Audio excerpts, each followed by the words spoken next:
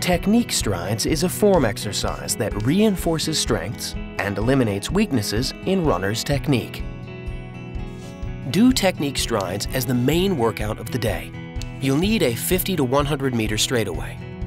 Here's how technique strides works. One at a time, your runners will stride down a straightaway at a fast but controlled pace. Observe each runner and talk them through what you saw and how they can improve on the next stride. As a general guideline, have each athlete do 5 to 15 technique strides. Review their form after each stride and shift your focus to different aspects of form every few strides. Let's see how these sprinters did with their first strides. Okay, you guys did a great job, but uh, you know we can always use improvement on a few things. Jatia, first thing that I noticed that when you were coming down is you kind of chopped your steps. You didn't pick your knees up uh, high enough. So on the next one, just make sure that you're um, backing off the pace a little bit, relaxing, and swinging full arms and making sure your knees are coming up high. Uh, Mike, when you came down the first time, you arched your back, all right? You kept your chin up like you were looking up into the sky. Uh, you don't want to do that. You want to be, you know, straightforward with the shoulders and drop the chin. Uh, try to focus about 10 yards in front of you, 10 to 15 yards on the track right in front of you. All right, let's try it again. That's it, good knee lift. That's the way, nice job. There you go, all the way, all the way. All the way, stay your lane, stay your lane, all the way, all the way, all the way. Head down. Head down more. There you go. Look down. Straight ahead with the head. There you go. Good, good, good, good. Much better. How did the second one feel? I think maybe I was going just a little bit too high. Mm-hmm. So Oh, good. So on the next one, on number three, back off a little bit. Try to relax your knees and, uh, and run a little, with a little bit more um, uh, relaxation. But one of the things that, that you did do is as you came down the second time, you definitely covered uh, more ground with each step. All right, so that was to your benefit. Mike, how did it feel for you the second time? Better. Okay, yeah, the head was a lot more level for you the second time around, absolutely.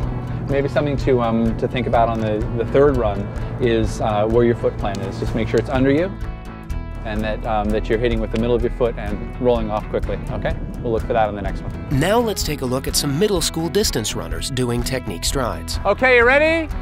Go! good job, Margot. That's the way, swing your arms a little more. All right, all the way through to here. Good job, all right, excellent. And go. That's the way, good. Nice job all the way through the line here. That was excellent job on the first one. Uh, you have great natural running form, but there are always some things that we can work on. So I want to tell you a few of the things that we, uh, that we noticed as we went through. Your arm carriage on that one was a little bit high up here, and so you're not getting um, the balance with your legs and the uh, propelling that you want from using your arms. So you want to drive your elbows uh, back a little bit further. Drop your hands down and drive your elbows back a little bit further in the second run, okay?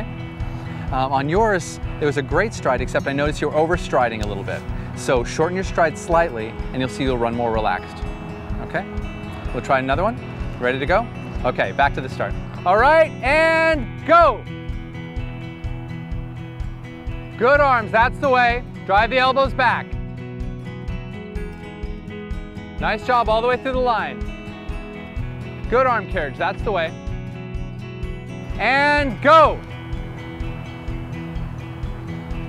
Good job. Much better, nice job. That's the way. Excellent. That was a really good tempo. Okay, nice job each of you on the second run. Margot, great job correcting your form. We just want to watch your left arm to make sure it doesn't cut across your body. So keep it down and out, but great job on the legs and keep up the good work. Nice. And that one, you notice how when you uh, when you shortened your stride a little bit, you weren't um, slowing your momentum. You actually had a, a good rhythm on that one. Um, on this one, um, I want to think about having less of a back kick and a little bit more knee lift. So think about um, the front side of your action uh, rather than uh, the back side. And we'll um, we'll critique that again and see how it uh, see how it goes. Here are seven pointers for the exercise. Sprinters should run at 80 to 90% of their racing effort. Distance runners can run some strides at the pace of their finishing sprint and some at their race pace. Keep your feedback specific and constructive. Acknowledge what your runners did well while identifying adjustments they can make to get even better. Challenge them to take the lead in identifying the strengths and weaknesses in their form. Confirm that they understand your instructions for improvements. You might need to think of different ways to give the same instruction in order to find something that resonates with a particular runner. And sometimes, a demonstration can be the clearest instruction of all. For each runner, focus on only one or two features of form at a time. Shift your focus to different aspects of form after every few strides. Given individual differences in flexibility and biomechanics, some adjustments in form may be unrealistic for certain runners. Never force these adjustments in technique. Adjustments may feel awkward at first, but they should not be uncomfortable or cause pain. And finally, give lots of recovery time between technique strides. It's counterproductive for runners to attempt major improvements in form when they're very tired. For more form fundamentals to emphasize in this exercise, see our Form 101 section.